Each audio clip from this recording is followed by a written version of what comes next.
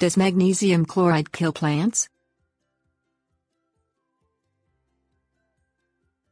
When winter precipitation falls and threatens to stop our daily lives, magnesium chloride commonly makes an appearance to keep life moving at a normal pace.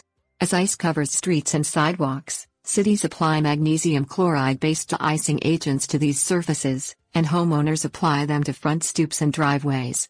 Though magnesium chloride is effective, it can kill your plants.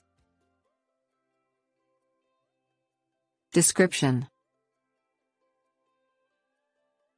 Scientifically speaking, magnesium chloride MgCl2 is composed of ions of magnesium and chloride that bond to form a type of salt. Available in different forms, magnesium chloride comes as granules, which are typically used for smaller areas like driveways.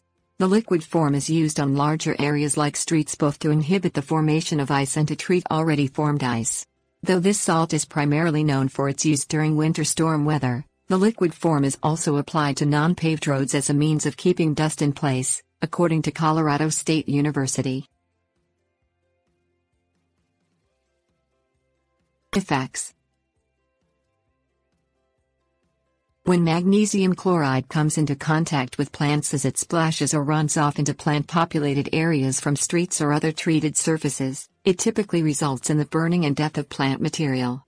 When the salt enters the plant, the chloride that circulates through the entire plant system gathers in foliage where it kills plant tissue and can lead to the death of the entire plant, according to the Colorado State University Extension. Though evergreen plants are likely to display immediate obvious signs of damage, some deciduous plants will not display signs of poisoning for a few months.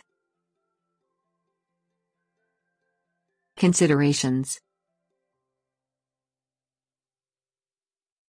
Though magnesium chloride is often thought of as a safer alternative option to other salts like sodium chloride, one should be wary of labels that claim this salt does not harm plants. Confusion stems from misinformation about magnesium and chloride in their independent forms. Though it is true that plants need these elements as essential components for a healthy life, they do not need very much chloride. Unfortunately, extremely high levels of chloride, like those found in magnesium chloride salt, acts as poison on plants. Though use of magnesium chloride and careful marketing may seem like a safe and easy plan, gardeners should resist the temptation. Recovery Although it is easy to make the connection between the use of salt on streets and the sudden occurrence of plant decline, other problems can cause similar symptoms.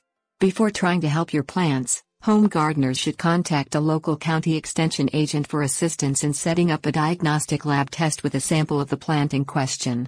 Though no magic cure exists for rejuvenating trees, gardeners can attempt to reduce the salt levels in soil.